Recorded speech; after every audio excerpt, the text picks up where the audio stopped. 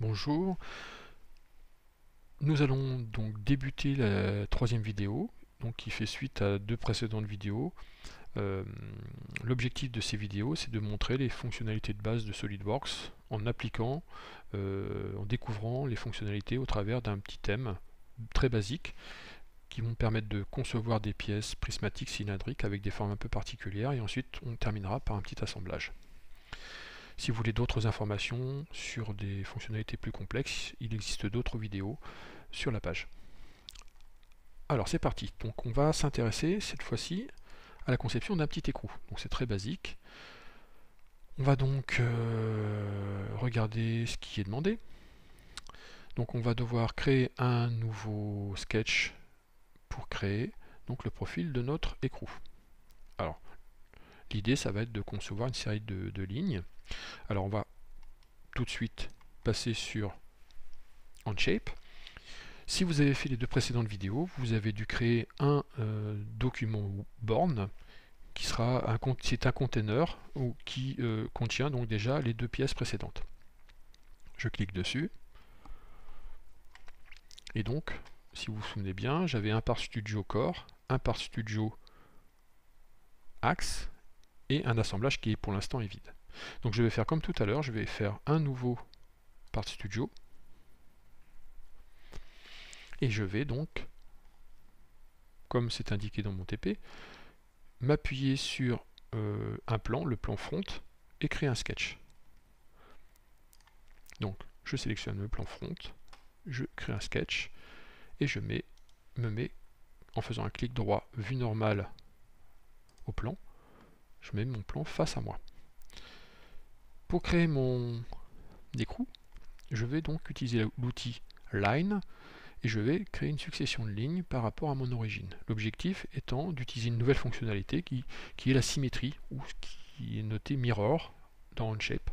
D'ailleurs, il doit y avoir deux R, Mirror. Alors, euh, c'est parti. On regarde bien l'aspect du profil. Line.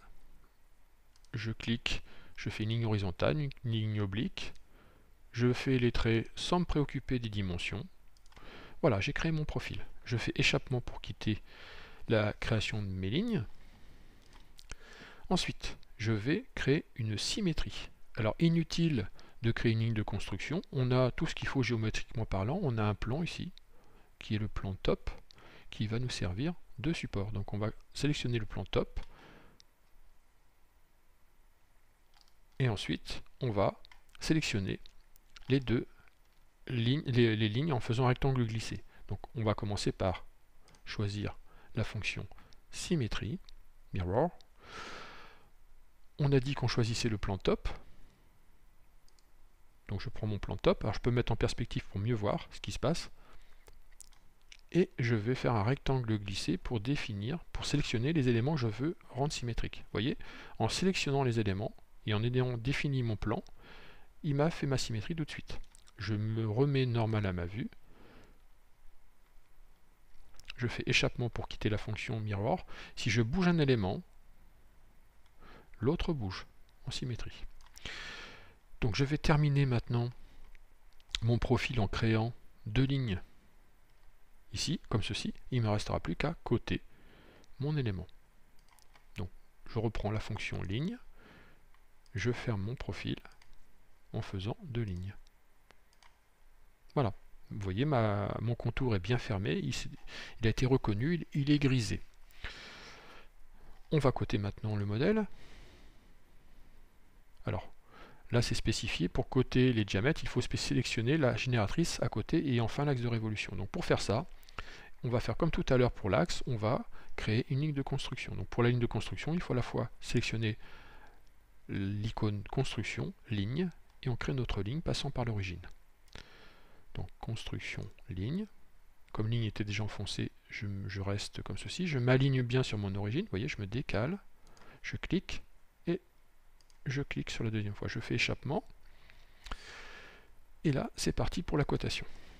Donc, on va coter d'abord les diamètres, donc 14, 32, 56. Donc le 14, c'est le trou où il y aura le taraudage. 32, l'extrémité de la première ligne, 56 hors tout. 14, 32, 56.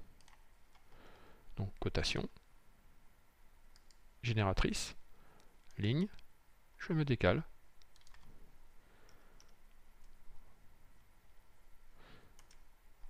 Voilà, donc là je viens de créer ma cote de 14. Ensuite, je vais créer ma cote de 32. Je zoome. Je prends mon point, ma ligne, et je me décale. Code de 32, je valide. Et génératrice, ligne, et je me décale. 50, pardon, 56. Donc pour changer la cote, on double-clique et on change la valeur. Parfait, donc là on voit que c'est un petit peu déformé le modèle, ça c'est normal. Je fais échappement et je vais reformer un peu mon modèle. Donc on va s'occuper justement du petit chanfrein ici tout de suite. On regarde les valeurs proposées, donc c'est du 2 à 45 degrés. Donc je vais coter mon 2, donc je prends soit le point, soit la ligne. Je peux prendre les deux points, et là je me mets bien comme ceci au milieu pour mettre ma cote de 2. Et si je veux sortir ma cote, je le fais dans un deuxième temps. Pour la cote d'angle, je reste toujours dans ma fonction cotation. Je prends bien le segment incliné, le segment horizontal et je me décale. Je mets la cote angulaire suivant le secteur qui m'intéresse. Je mets 45 degrés, parfait. Donc ça, ça fonctionne comme tous les modeleurs. Hein. Voilà pour ça. Tant qu'on y est, euh, on va pouvoir éventuellement mettre en relation ces deux euh, arêtes, on veut qu'elles soient parallèles. Donc comment on va faire? On va aller ici, dans les contraintes, enfin c'est des contraintes géométriques. On va choisir parallèle, et on va dire que je veux que ça, soit parallèle à ça. Voilà, et vous voyez, là il vient de mettre une contrainte parallèle entre les deux entités. Je fais échappement, vous voyez, là on voit la parallèle qui apparaît ici. Et va nous rester nos codes d'épaisseur. Donc 18,5 et 20,5. Donc je reviens sur cotation 18,5 et 20,5 que je peux coter également comme ceci. Voilà. Mon profil est tout noir. Alors quand les entités sont noires, ça veut dire que tout est contraint. Je n'ai pas oublié de cote. Si euh, mes, traits restaient d'une autre couleur, en bleu, eh bien il manquerait des cotes. Maintenant on va créer le profil. Donc là j'ai fait la, contrainte parallèle, c'est fait. Donc on va faire un profil de révolution. Donc on va utiliser la fonction revolve. On va créer un nouveau solide, et on va sélectionner la case pour définir l'axe de révolution. Et on va sélectionner l'axe. Donc je vais sur revolve, new, je sélectionne la case de l'axe, je clique sur la ligne de construction, je pivote si on veut pour bien voir ce qui se passe et je valide. Voilà, donc là mon écrou est, fait. Il ne me reste plus qu'à le renommer. Donc, clic droit, rename, écrou. Voilà, donc comme je disais tout à l'heure, euh, pour la fonction euh, pour l'axe, il existe des fonctions filetage taraudage dans OnShape. Je ne vais pas développer ça aujourd'hui. Euh, ça nécessite l'apport de feature script et donc c'est pas l'objet de la séance d'aujourd'hui. Hein. Voilà, donc on a maintenant nos trois parts studio avec nos trois pièces. On va passer maintenant à la quatrième vidéo pour terminer la quatrième pièce. A tout à l'heure.